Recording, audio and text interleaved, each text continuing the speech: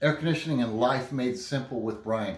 I'm going to show you the difference between an infrared gun temperature at your vent and the actual temperature of the air coming out. I'm putting it right in the middle, right there. It is the bottom number. Okay, there's our bottom number. Where are we at?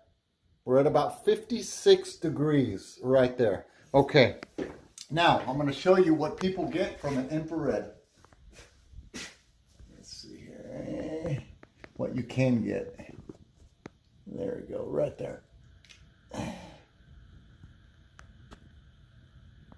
You see the difference?